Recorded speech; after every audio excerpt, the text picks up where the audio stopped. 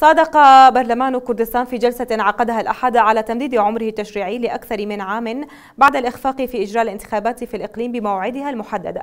وافتتح البرلمان جلسته بالقراءة الثانية لفقرات مقترح مشروع قانون تمديد العمر التشريعي للدورة الخامسة وسط مقاطعة كتلتي الاتحاد الإسلامي الكردستاني والجماعة الإسلامية والبرلمانيين المستقلين. وصوت 80 نائبا من أصل 111 بالموافقة على مشروع القانون. وتمت مصادقته من قبل هيئة رئاسة البرلمان بعد حصوله على الأغلبية.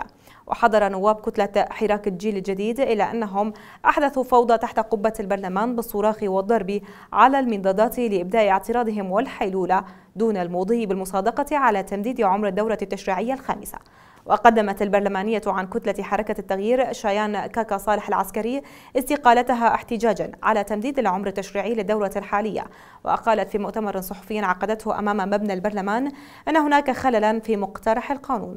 وما كان ينبغي المضي في التصويت عليه وتمديد عمر البرلمان وتأجيل إجراء الانتخابات مضيفة أنه يتعين ألا نجذر لثقافة تمديد عمر البرلمان. أو برزاني لقلب جادي السيمن. بەسەند کرا.